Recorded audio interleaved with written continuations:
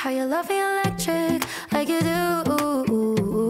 Love it how you love me electric, always you. Love it how you love me electric, electric. I love it how you love me a lot, love me a lot, love me electric. 여러분 안녕하세요.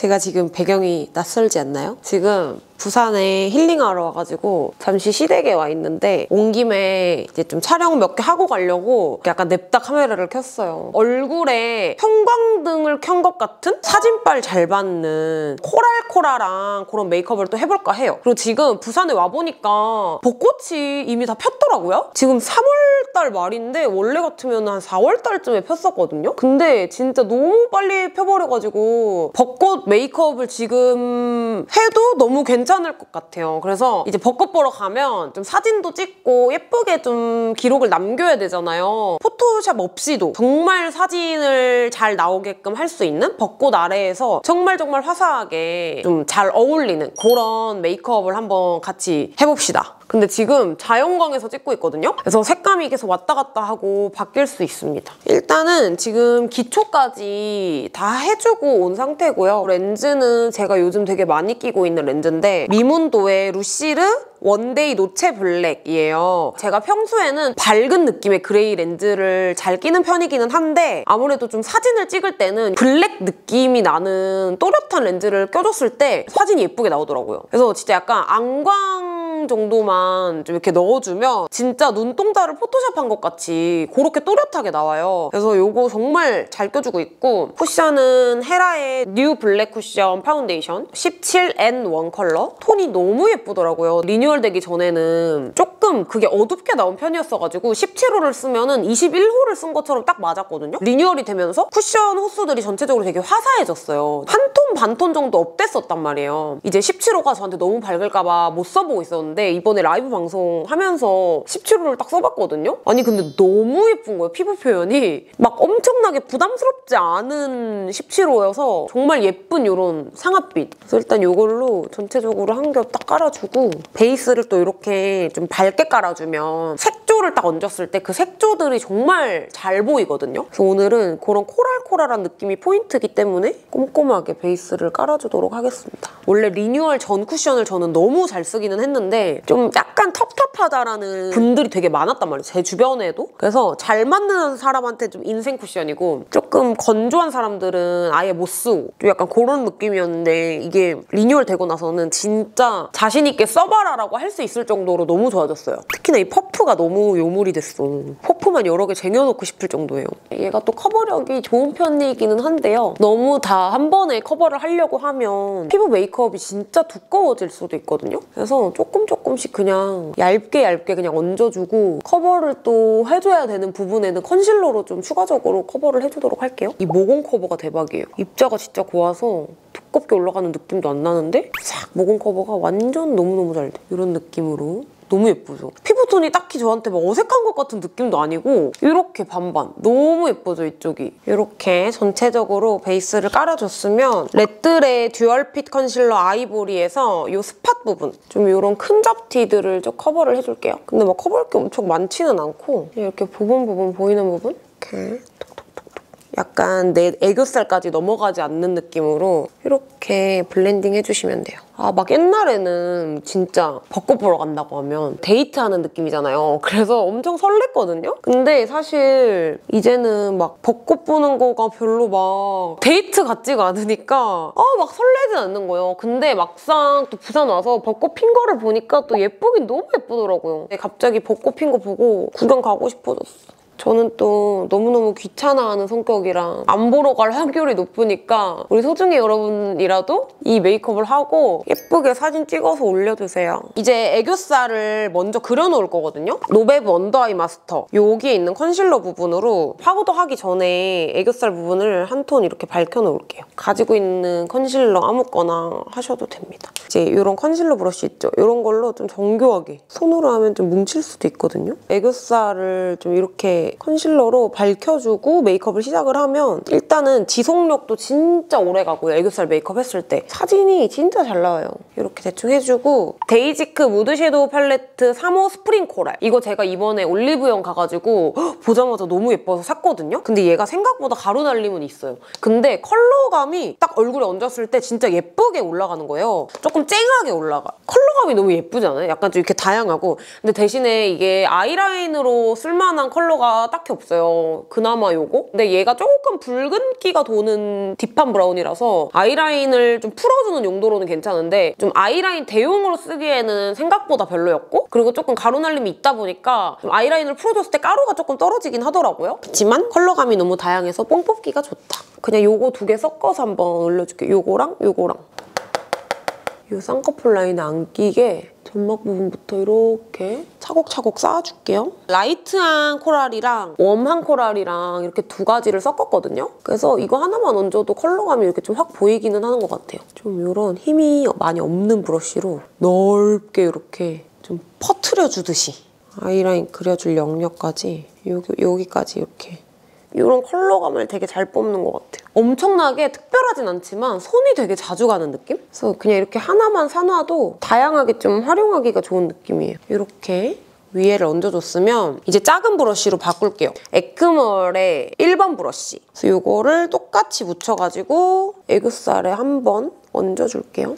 아까 그 애교살 깔아줬잖아요? 그 부분 윗부분을 지나가주면서 이 뒤쪽으로 이렇게 퍼트려서 좀 트이는 느낌으로?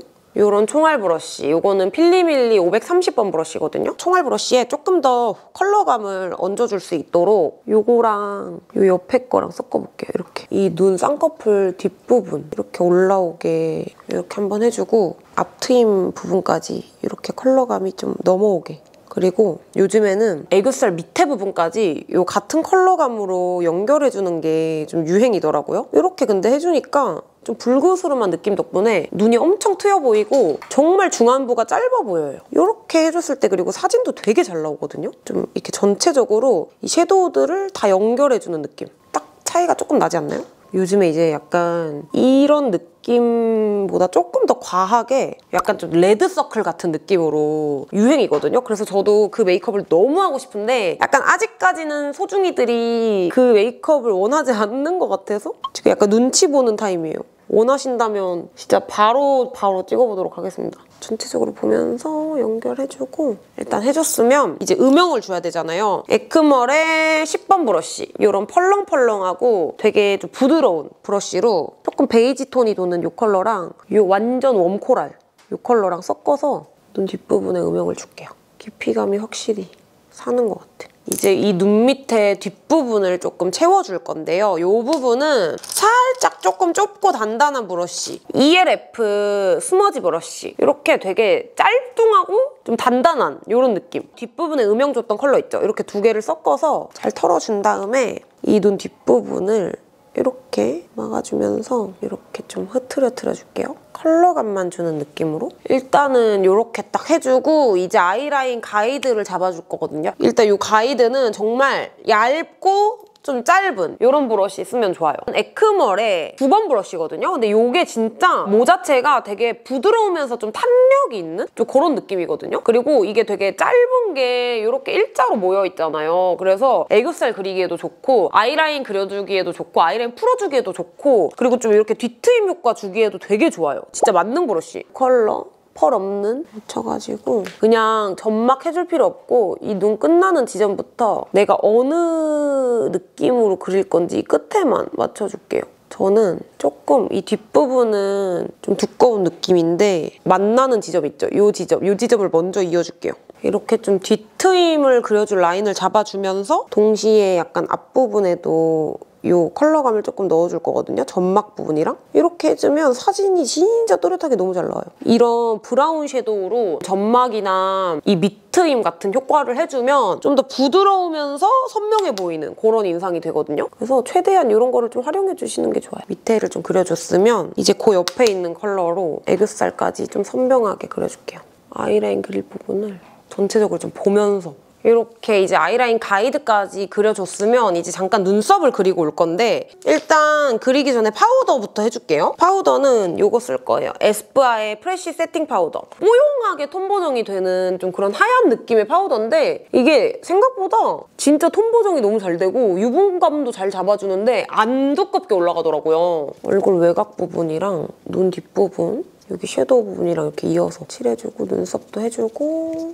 shading 들어가는 이 부분을 좀 이렇게 꼼꼼하게 이게 진짜 이렇게 약간 듬뿍 얹어도 엄청 부담스럽게 좀 허예지는 느낌이 아니라서 생각보다 너무너무 괜찮은 것 같아요. 그리고 얘를 이렇게 뾰족하게 만들어서 좀 털어준 다음에 이 팔자 부분 이게 사진에 잘 나오려면 아무래도 조금 뽀송한 피부로 연출을 해주시는 게 blur 처리한 것 같은 그런 느낌으로 또 사진이 너무너무 잘 나오거든요. 그래서 꼼꼼하게 이렇게 파우더를 딱 해줬으면 이제 brow를 그려줄 건데 Sharp So Simple Brow Pencil Neutral Brown 이게 그리기도 쉬운데 컬러감도 막 붉은기가 너무 많은 느낌이 아니어가지고 딱 오늘 메이크업에 잘 어울릴 것 같거든요. 그래서 눈썹은 어차피 저는 앞머리를 내려줄 거기 때문에 그냥 너무 두껍지 않은 느낌으로 이렇게 난 방향대로 그려줄게요, 그냥.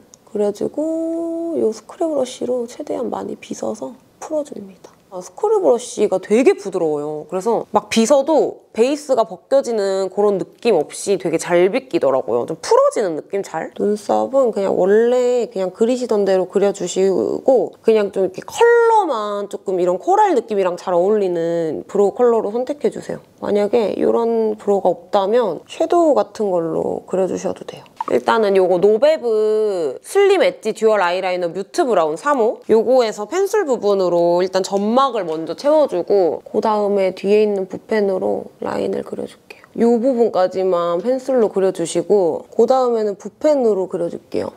이제 이 뒷트임을 조금 마무리를 해줄게요. 작은 브러쉬 있죠? 에크멀 9번 브러쉬지. 여기서 이 브라운 컬러랑 이 베이지 컬러랑 이렇게 좀 섞어가지고 부분에 음영을 좀 확실하게 이렇게 주면서 뒤쪽으로 갈수록 이 음영이 조금 더 잘 보이게 이 음영 정도만 좀 이렇게 포인트를 줘도 딱 사진을 찍었을 때 눈매가 확실히 좀 트여 보이게 잘 나오거든요. 이렇게 좀 뒤에 막히지 않고 약간 이 뒤에가 하얗게가 아니라 어두운 음영톤으로 좀 이렇게 그라데이션 되는 느낌으로 이렇게까지 트인 느낌이 들게 해주세요. 그 다음에 아까 썼던 그 아이라인 가이드 그려줬던 그걸로 이렇게 좀 아이라인의 경계를 풀어줄게요. 이렇게 해줬으면 투쿨포스쿨 Art Class Frottage Pencil 11호 듀베이지 이걸로 애교살 부분을 한 번 더 밝혀줄 거거든요. 좀 이 애교살 부분을 살짝 밝혀주면서 이 뒷부분에 좀 지저분한 부분들을 정리해주는 느낌으로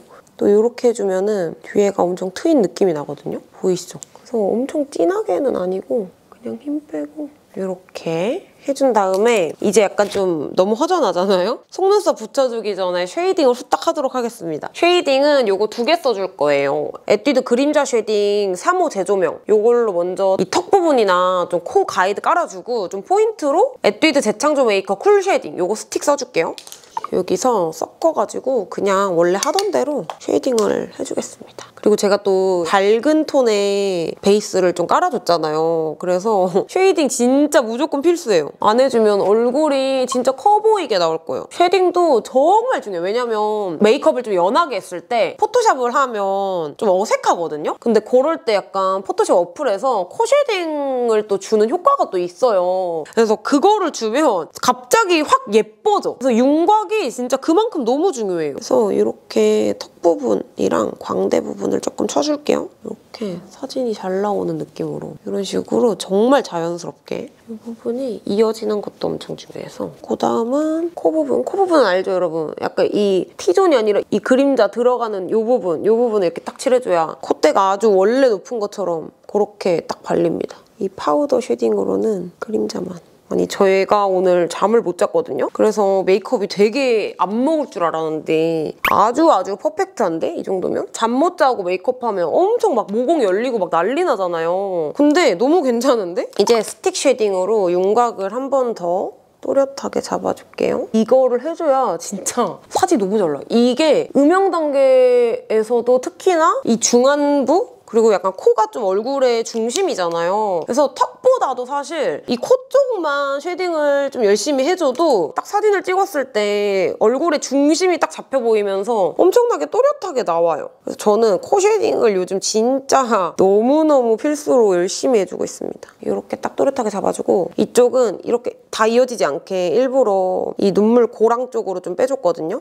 어차피 이쪽에 블러셔로 좀 덮을 거라서 어둡게 돼도 이렇게 냅둘게요, 그냥. 코 shading까지 다 해줬으면 제가 속눈썹을 요거를 가지고 왔거든요. 와이츠 프리미엄 가닥 속눈썹, 부분 속눈썹 요거를 얼른 붙여주고 오도록 할게요. 이렇게 여러분 좀 자연스러운 느낌으로 붙여줬고요. 이제 여기다가 이제 마스카라 해줄게요. 파이브바이브 인텐스 파워 래쉬업 마스카라. 요거 블랙 컬러. 엄청 길진 않게 붙였거든요. 그래서 가닥가닥 모아주면서 진짜 내 속눈썹인 것처럼 좀 선명하게 좀 길이감도 연장해주고 이렇게 이렇게 내 속눈썹이랑 섞어서 이렇게 칠해주면 근데 제가 속눈썹이 정말 너무 많이 자랐어요. 영양제 이제 만들고 있는 게 곧 나오는데 진짜 매일매일 바르는 것도 아닌데 너무 많이 자라가지고 이게 블랙 부분, 투명 부분 이렇게 거의 다 나왔어요. 근데 진짜 속눈썹이 너무 많이 자라서 솔직히 이제는 딱 마스카라만 해도 될 정도거든요? 이번에 딱 만들고 샘플 계속 쓰면서 이렇게 길어질 수 있구나라는 거를 제가 정말 체감을 했어요. 근데 만들면서 너무 어려웠던 게 사실 이게 0부터 시작을 해서 이걸 만드는 거잖아요. 개발 과정이 진짜 너무너무 어려웠어요. 완 완제품을 딱 써보면 아 뭔가 만들 수 있을 것 같은 느낌이에요. 근데 완제품이 아니라 그 초반 샘플부터 해서 진짜 제형이랑 이런 효과까지